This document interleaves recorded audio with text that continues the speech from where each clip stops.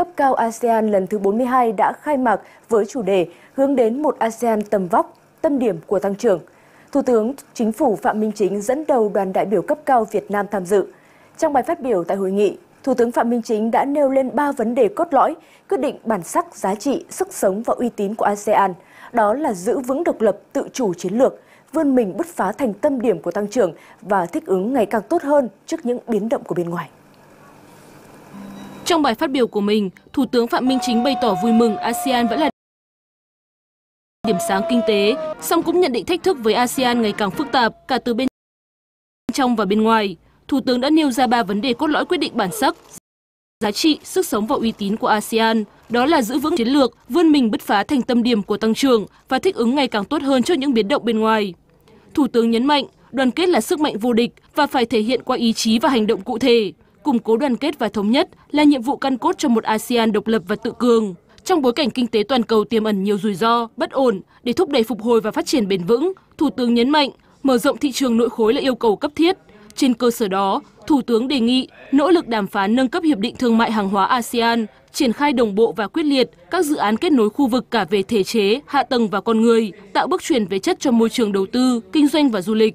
Thủ tướng đề nghị hợp tác kinh tế số, chính phủ số, kinh tế tuần hoàn cần được quan tâm, đẩy mạnh cùng với kết nối mạng lưới điện, phát triển năng lượng tái tạo và sớm xây dựng các chiến lược dài hạn về đào tạo nguồn nhân lực chất lượng cao, thông qua triển khai thỏa thuận công nhận lẫn nhau về lao động trong một số ngành nghề và xem xét mở rộng áp dụng thỏa thuận trong những ngành nghề mới. Thủ tướng cũng đề nghị các thành viên ASEAN chung tay khơi dậy ý chí tự cường, đoàn kết, khơi thông các nguồn lực phát triển và khởi tạo các ý tưởng đột phá cho xây dựng cộng đồng, giúp ASEAN bứt phá, trở thành tâm điểm tăng trưởng của khu vực và toàn cầu. Bên lề hội nghị cấp cao ASEAN lần thứ 42, sáng nay, Phó Chủ tịch Quốc hội Nguyễn Đức Hải đã gặp chủ nhiệm Ủy ban Đối ngoại Hợp tác Quốc tế, Thông tin và Truyền thông Quốc hội Campuchia, Soud Yera.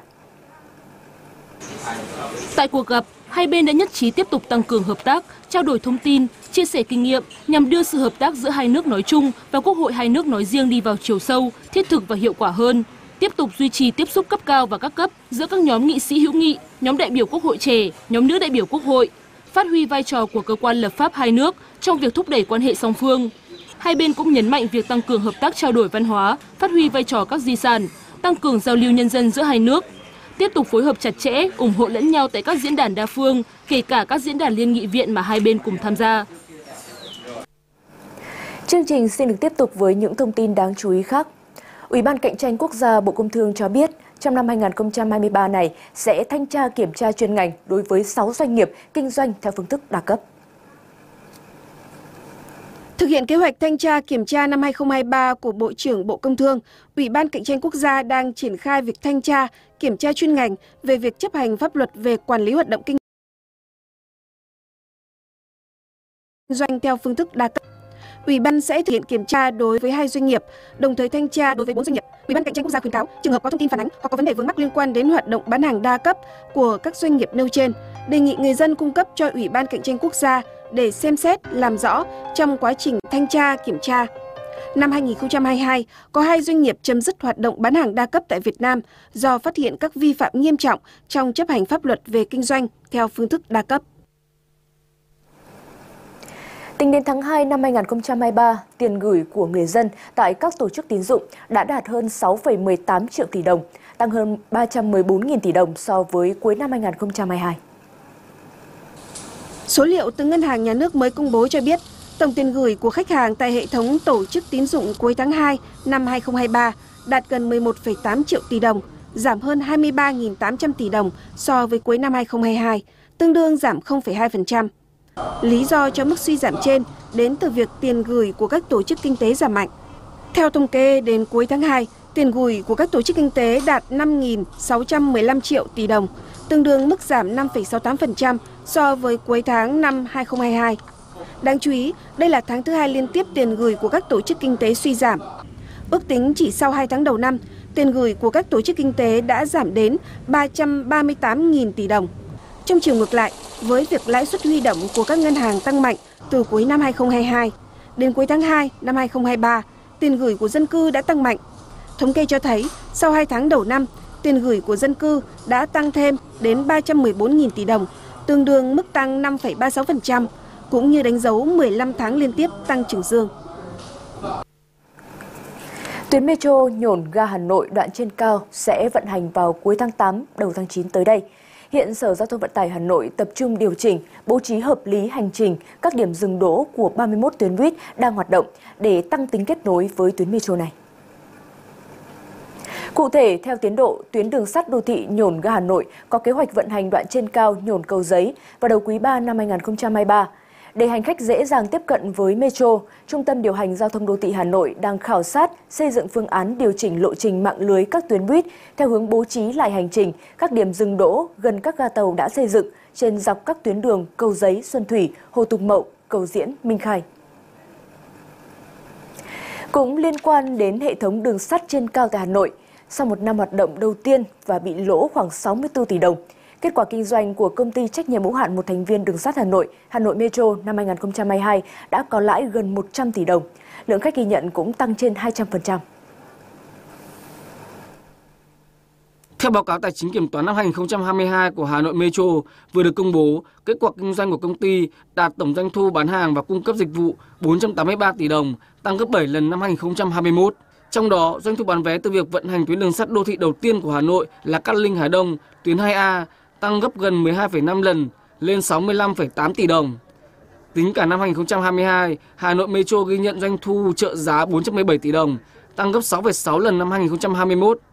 Khoản doanh thu này giúp Hà Nội Metro đã thoát tình trạng kinh doanh lỗ và có lãi gồm 109,5 tỷ đồng. Trước đó, năm 2021, khi tuyến vừa vận hành, công ty có doanh thu lỗ 64 tỷ đồng. Nút giao giữa các phố Cát Linh, Quốc Tử Giám và Tôn Đức Thắng, khu vực có lưu lượng giao thông lớn của thủ đô Hà Nội. Thời gian gần đây, việc thi công một số công trình tại các tuyến phố này càng khiến cho tình hình giao thông tại đây trở nên khó khăn hơn. Trước thực trạng này, từ ngày 26 tháng 4 vừa qua, Sở Giao thông Vận tải Hà Nội đã tiến hành điều chỉnh thí điểm cho xe máy lưu thông hai chiều trên toàn bộ phố Quốc Tử Giám. Tuy nhiên, theo phản ánh ghi nhận, sau hơn một tuần thí điểm, tình hình giao thông tại khu vực này vẫn khá lộn xộn. Theo phương án phân luồng mới của Sở Giao thông Vận tải Hà Nội, xe máy được lưu thông hai chiều trên toàn bộ phố Quốc Tử Giám. Riêng ô tô vẫn chỉ được lưu thông một chiều. Ngoài ra, các phương tiện đang lưu thông theo hướng Nguyễn Thái Học đi ô chợ dừa cũng không được rẽ trái vào phố Quốc Tử Giám. Tuy nhiên, sau hơn một tuần triển khai thí điểm, mặc dù các cơ quan chức năng đã lắp đặt đầy đủ biển báo, vạch kẻ đường, mũi tên, thế nhưng nhiều người dân vẫn chưa hề biết về sự thay đổi này. Chỗ này đi một chiều thôi, chiều đây. Chưa chưa chưa biết được. Hôm nay mới đi được buổi qua đây đầu tiên nên cũng không lắm được.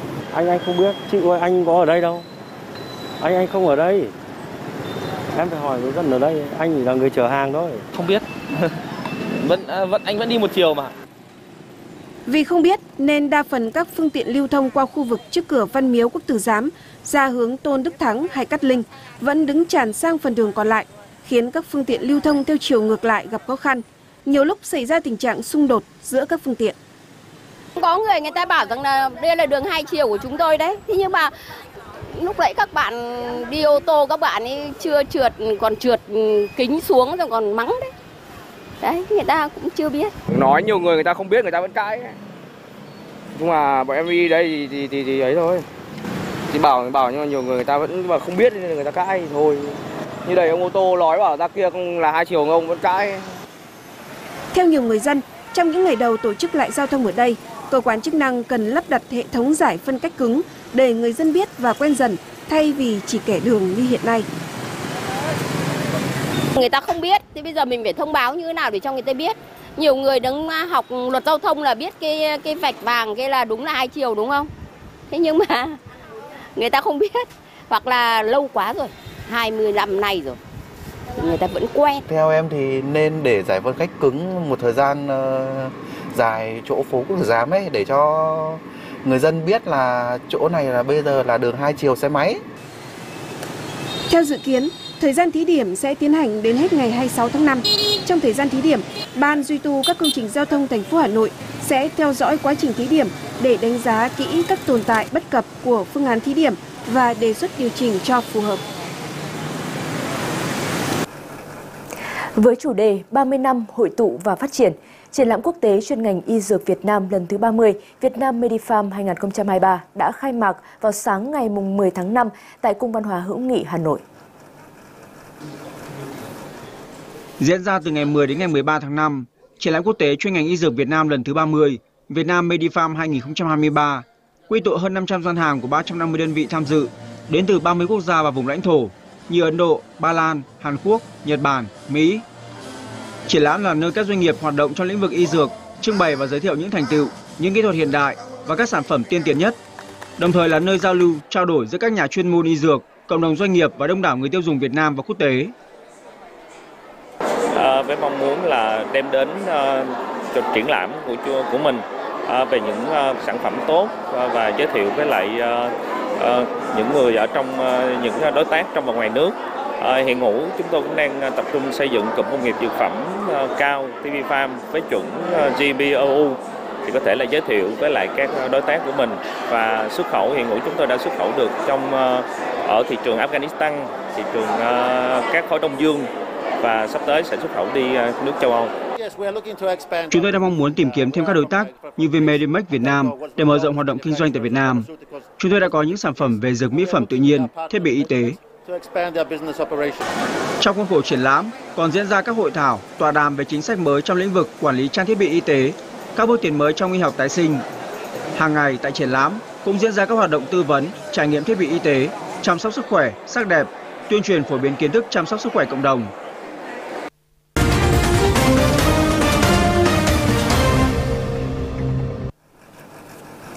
Tiếp tục chương trình là những thông tin đang được dư luận quan tâm. Vào sáng nay 10 tháng 5, Tòa án nhân dân cấp cao tại thành phố Hồ Chí Minh đã đưa ra phán quyết đối với bị cáo Nguyễn Kim Trung Thái trong vụ bạo hành khiến bé gái 8 tuổi tử vong vào hồi cuối năm 2021. Hội đồng xét xử cấp phúc thẩm tuyên giữ nguyên mức sơ thẩm 8 năm tù đối với Nguyễn Kim Trung Thái về các tội danh hành hạ người khác và che giấu tội phạm. Trước kháng cáo của luật sư, phía bị hại yêu cầu hủy án sơ thẩm, đổi tội danh Nguyễn Kim Trung Thái phạm tội giết người với vai trò đồng phạm của Nguyễn Võ Quỳnh Trang trong việc hành hạ, đánh đập khiến con ruột của Thái bị tử vong. Hội đồng xét xử cấp phúc thẩm cho rằng chưa có đủ cơ sở xác định Nguyễn Kim Trung Thái đồng phạm tội giết người nên không có căn cứ chấp nhận kháng cáo của luật sư phía bị hại. Do đó, bác kháng cáo của phía bị hại giữ nguyên bản án sơ thẩm đối với Nguyễn Kim Trung Thái với mức án 3 năm tù về tội hành hạ người khác, 5 năm tù về tội che giấu tội phạm. Tổng hợp hình phạt chung là 8 năm tù. Sau gần 3 ngày xét xử, vào sáng nay mùng 10 tháng 5, Hội đồng xét xử sơ thẩm Tòa án Nhân dân tỉnh An Giang đã tuyên án đối với bị cáo Trần Trí Mãnh, sinh năm 1980, ngụ tại tỉnh An Giang và đồng phạm trong vụ án cho 20 tỷ đồng để điều chuyển giám đốc Công an tỉnh An Giang đi nơi khác. Theo đó, hội đồng xét xử tuyên phạt bị cáo Trần Trí Mãnh, sinh năm 1980, trú tại thành phố Châu Đốc, tỉnh An Giang, giám đốc công ty trách nhiệm hữu hạn thương mại và sản xuất Gia Thịnh, 11 năm tù về tội đưa hối lộ.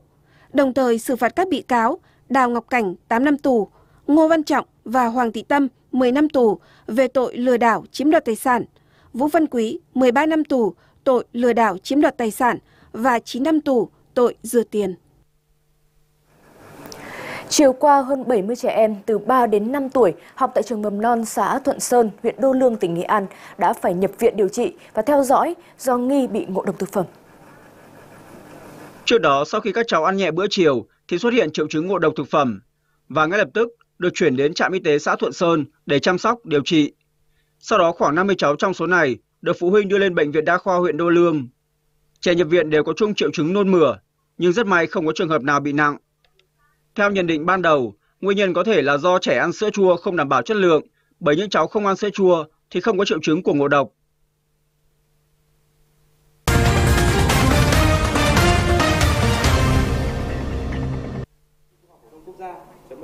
Theo hướng dẫn của Bộ Giáo dục và Đào tạo, bắt đầu từ ngày mùng 4 tháng 5 đến 17 giờ ngày 13 tháng 5, thí sinh là học sinh lớp 12 năm học 2022-2023 đăng ký dự thi trực tuyến kỳ thi tốt nghiệp trung học phổ thông năm 2023 thông qua tài khoản là số căn cước công dân, chứng minh nhân dân hoặc mã định danh. Theo ghi nhận, có một vài khó khăn vướng mắc trong quá trình thí sinh đăng ký dự thi, đặc biệt vào thời điểm những ngày đầu tiên bắt đầu mở hệ thống khi quá nhiều thí sinh đăng ký cùng lúc, gây nên tình trạng nghẽn mạng do quá tải.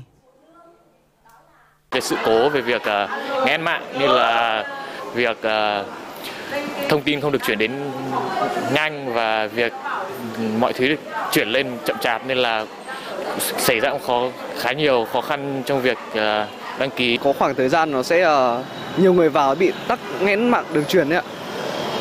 Nên là cũng vào tầm khoảng tối thì nó sẽ đỡ hơn, kiểu tối muộn thì nó sẽ đỡ lag hơn. Vấn đề thứ nhất là uh, một số 11 là uh, đăng ký cho thí sinh tự do thì các bạn vẫn đang học trong ờ, chưa tốt nghiệp trong trung học phổ thông thì mình không được tích vào phần đấy. Nhưng mà có rất nhiều bạn vẫn bị nhầm vào tích vào phần đấy.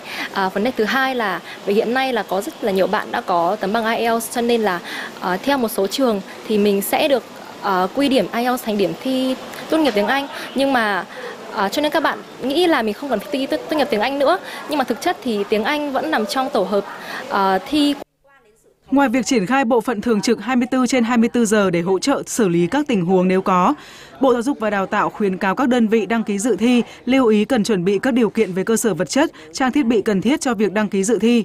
Cùng với đó là hướng dẫn thí sinh chuẩn bị hồ sơ để khai báo vào phiếu đăng ký dự thi đầy đủ và chính xác các thông tin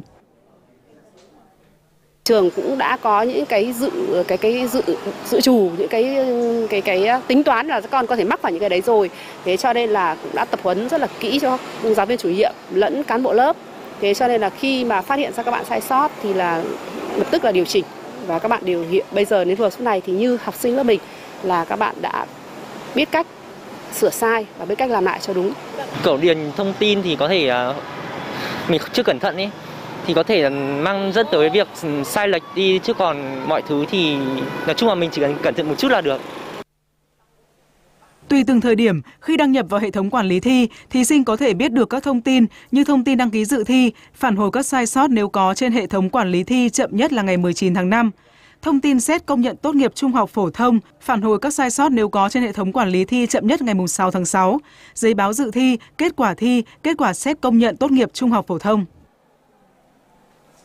Trước hết thì xin cảm ơn Phó Giáo sư Tiến sĩ Huỳnh Văn Trương đã nhận lời tham gia chương trình của chúng tôi ngày hôm nay. Một vài cái vướng mắc trong quá trình mà thí sinh đăng ký trực tuyến kỳ thi tốt nghiệp trung học phổ thông quốc gia 2023.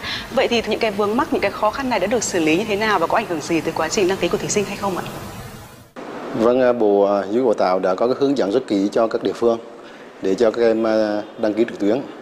Và chỉ có ngày đầu tiên thì do số lượng các cái thí sinh vào đông, do vậy nó có bị ngãn mạng một cái ờ, lúc rất ngắn cỡ 30 phút nhưng mà sau đó là cục công nghệ thông tin và à, cục quản lý lượng cùng với à, phối hợp với đơn vị liên quan về công nghệ thông tin để xử lý và chỉ giải quyết trong vòng 30 phút. Trong quá trình thực hiện đăng ký thi tốt nghiệp trung học phổ thông trực tuyến thì thí sinh cần phải đặc biệt lưu ý đến những thông tin nào ạ? Hiện nay thì các em đang đăng ký và đến ngày 13 của tháng 5 thì sẽ kết thúc cái việc đăng ký này. Có 9 ngày để các em làm việc này. Và nhìn chung là tất cả các cái hệ thống hiện nay đang chạy tốt và các trường cơ sở đào tạo đã giúp các em để cho cái việc đăng ký. Và theo ghi nhận của bộ, đến giờ phút này thì cái việc mọi cái ờ, công việc đăng ký đều thông suốt và số lượng hiện nay là đạt trên ờ, ờ, con số rất cao, trên gần 9% cho công việc này. Và các em cần lưu ý mấy điểm đó là, thứ nhất, đó là cái thông tin để đăng ký các em phải chịu trách nhiệm khi đã xác thực thông tin của mình. Và thứ hai là phải điền đầy đủ thông tin. À, đặc biệt là cái phải chọn cái à, tổ hợp môn thi cho nó đúng với là cái nguyện vọng mình đã đăng ký. Và thứ ba nữa là nếu các em có đăng ký về cái à, xét tuyển đại học cao đẳng sư phạm thì các em phải tích vào cái ô về, về đăng ký xét tuyển để sau đó hệ thống sẽ chạy vào cái hệ thống của xét tuyển đại học và cao đẳng sư phạm. Và thứ tư nữa là các em lưu ý là cái việc nơi thường trú thay cho cái việc là hộ khẩu. Và cái việc này là bộ giáo dục và bộ công an sẽ hỗ trợ các em để xác thực chứ các em không phải nộp minh chứng về cái hộ khẩu thường trú. Năm 2023 là năm thứ hai Bộ Giáo dục và Đào tạo triển khai việc đăng ký trực tuyến kỳ thi tốt nghiệp trung học phổ thông quốc gia 2023.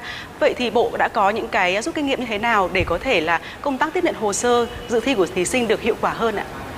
Cái việc à, đăng ký trực tuyến hiện nay thì cơ bản là đã ổn định và Bộ cũng đã phối hợp với các đơn vị liên quan để làm thế nào giao diện đăng ký là thân thiện nhất cho người học và thuận lợi nhất và dễ nhất.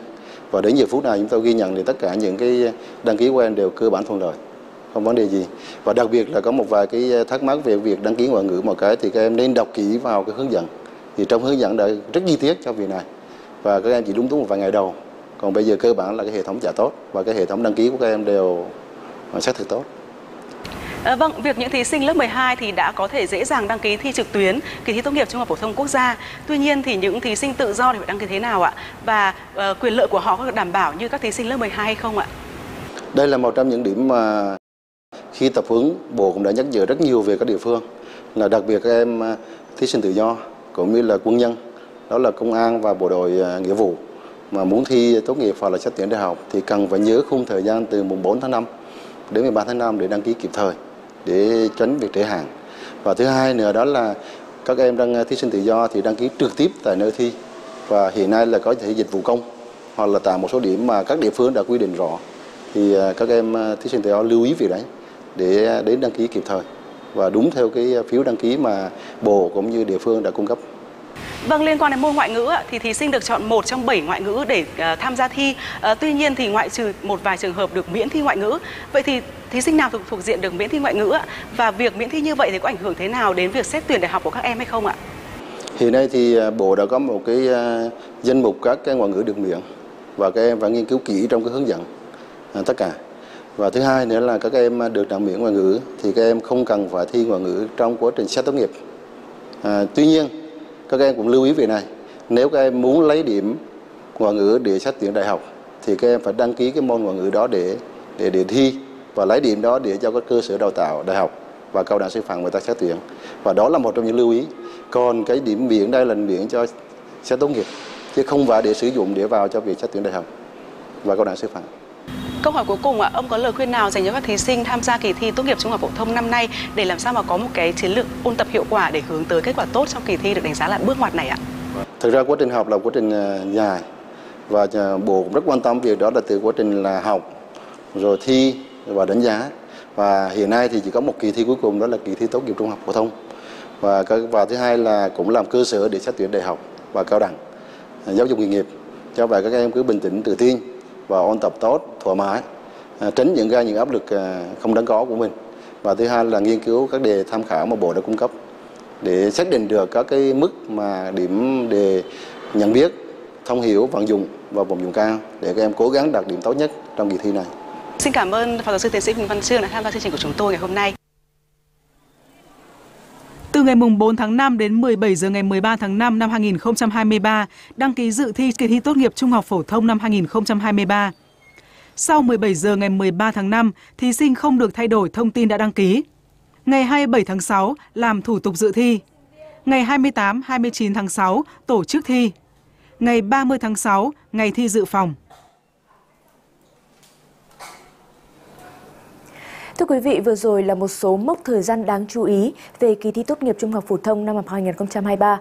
Hy vọng là với những thông tin hữu ích từ Phó Giáo sư Tiến sĩ Huỳnh Văn Trương, Cục trưởng Cục Quản lý Chất lượng, Bộ Giáo dục và Đào tạo, thí sinh và phụ huynh cùng với các thầy cô giáo sẽ có một sự chuẩn bị tốt nhất để hướng tới một kỳ thi thành công và hiệu quả.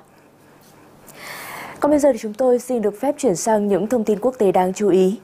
Nhằm tìm kiếm một giải pháp cho vấn đề trần nợ công hiện nay, Hôm qua, Tổng thống Mỹ Joe Biden đã có cuộc gặp với Chủ tịch Hạ viện Mỹ Kevin McCarthy. Tuy nhiên, kết thúc cuộc gặp này thì hai bên vẫn chưa tìm được tiếng nói chung trong vấn đề này. Phát biểu sau cuộc gặp với lãnh đạo Quốc hội Mỹ, bao gồm Chủ tịch Hạ viện Kevin McCarthy thuộc Đảng Cộng Hòa, Tổng thống Biden cho rằng cuộc gặp đã diễn ra khá hiệu quả và ông đã làm rõ ràng việc tránh cho nước Mỹ vỡ nợ là nghĩa vụ của Quốc hội Mỹ. Tuy nhiên, trái ngược với phát ngôn của Tổng thống Biden, Chủ tịch Hạ viện Kevin McCarthy cho rằng ông không thấy có gì mới kể từ cuộc gặp để thảo luận trần nợ hồi đầu tháng 2.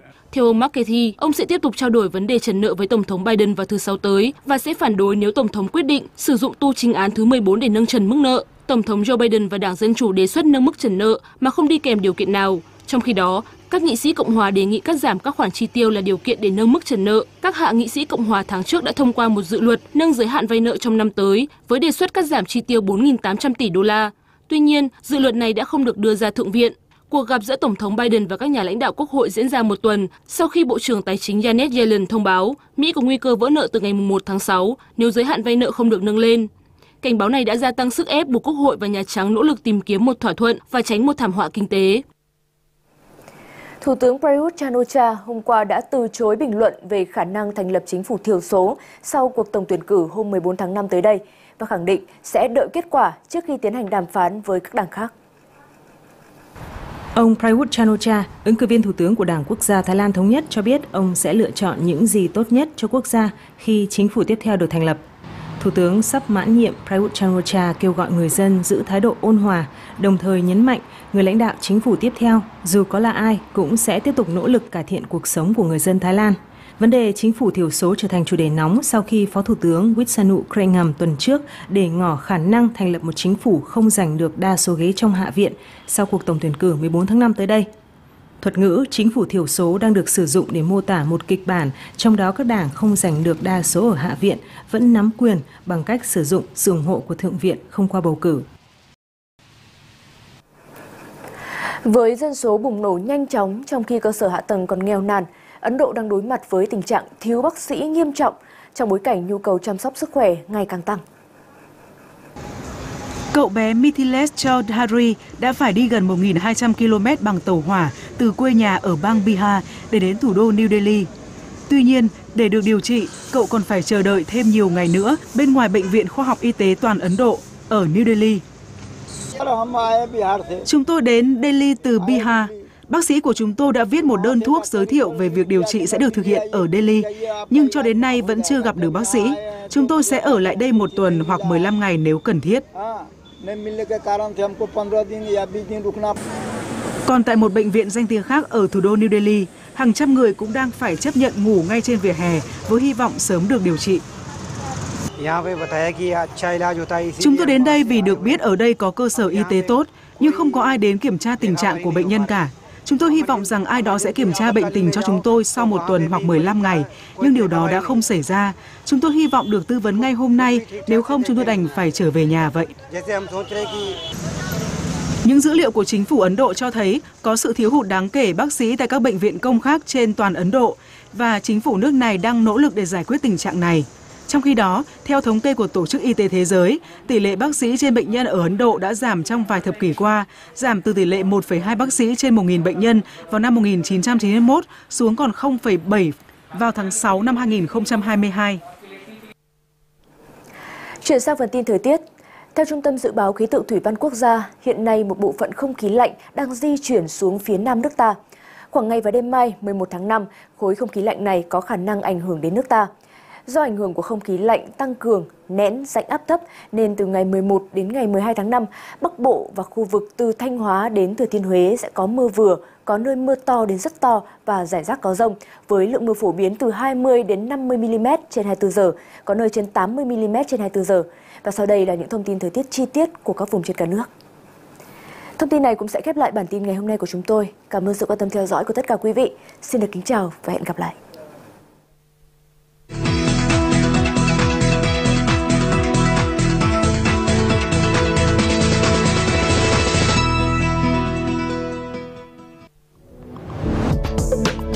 Phía Đông Bắc Bộ, nhiều mây đêm có mưa rào và rông rải rác, có nơi mưa to đến rất to, nhiệt độ từ 22 tới 29 độ. Phía Tây Bắc Bộ, nhiều mây đêm có mưa rào và rông rải rác, có nơi mưa to đến rất to, nhiệt độ từ 22 tới 28 độ. Các tỉnh từ Thanh Hóa đến Thừa Thiên Huế, nhiều mây đêm có mưa rào và rông vài nơi, ngày có mưa vừa, có nơi mưa to đến rất to và rải rác có rông, nhiệt độ từ 23 tới 33 độ. Các tỉnh từ Đà Nẵng đến Bình Thuận, nhiều mây có mưa rào và rông vài nơi, nhiệt độ từ 25 tới 33 độ.